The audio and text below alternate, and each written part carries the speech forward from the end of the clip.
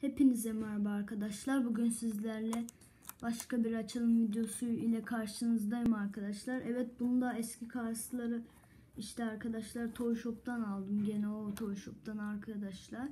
Evet arkadaşlar aracı gördüğünüz gibi Kars 3 mü? Hayır tabii ki de değil arkadaşlar. Bakın zımbalanmış. Bu zaten Kars 3 değil.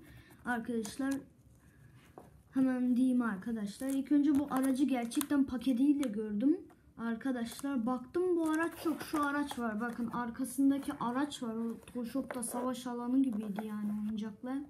Karslar yani. Hiç orijinal kutusunda olan yoktu yani. Bu araç vardı. Ben de üzüldüm bu aracı bulamayacağım diye.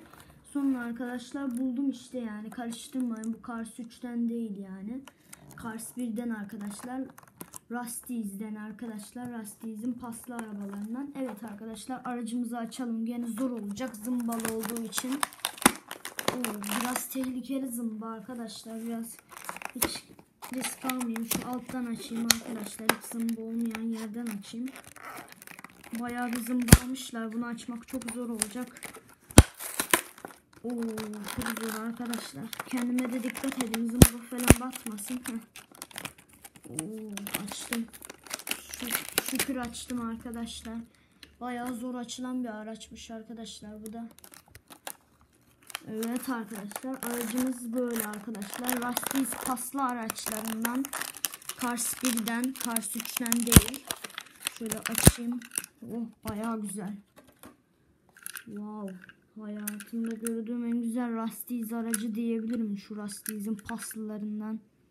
Oo, arkası bayağı iyiymiş.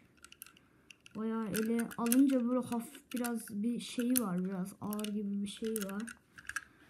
Şöyle göstereyim biraz arkası Fred'e benziyor. Şurası bakın göçermiş arkadaşlar. Normal aracın kendisi böyle o. Bayağı iyi detay yapmışlar ha. Gerçekten onu Toy Shop'ta yapmamışlar. Gerçekten direkt aracı göçertmişler. Lastikleri de biraz kahverengimsi. Bayağı iyi detay yapmışlar aracı paslarını falan. Acayip detaylı bir araçmış arkadaşlar bu araç. Mesela paskitlerden bir tane araç daha göstereyim arkadaşlar. Bir karşılaştıralım onunla. Sonra videomuzun sonuna gelelim. Mesela arkadaşlar şu aracı getirdim aha arkadaşlar. Bakın bu ama daha paslı arkadaşlar. Baksanıza şuna. Yani bu daha iyi arkadaşlar yani bayağı bir detaylı yani. Tek göçü olan araba diyebilirim yani Kars'taki de bir tane Red, Red Road Line var. O da çok değerli bir araç. Bir tane şeyi böyle hasar almış damage Red Road Line diye paketi şu oluyor. Yanında bir tane araç vardı. Onda bir de şeydi öyle. Bayağı göç etmişler arkadaşlar. Yani normalde vursam bile göçermez zaten. Bayağı iyi detay olmuş. Bakın şurada bir de paslanınca böyle şey oluyor ya biraz alçalma falan var. Araç harika arkadaşlar. Şöyle şu aracı da koyayım. Gerçekten Paskit'in en iyi araçlarından diyebilirim. Şurasında da bir şey var zaten. Çoğu araçta var o. Benzin yeri gibi bir şey. Harika araç. Evet arkadaşlar bugünkü açılım videomuzun sonuna geldik. Umarım videoyu beğenmişsinizdir.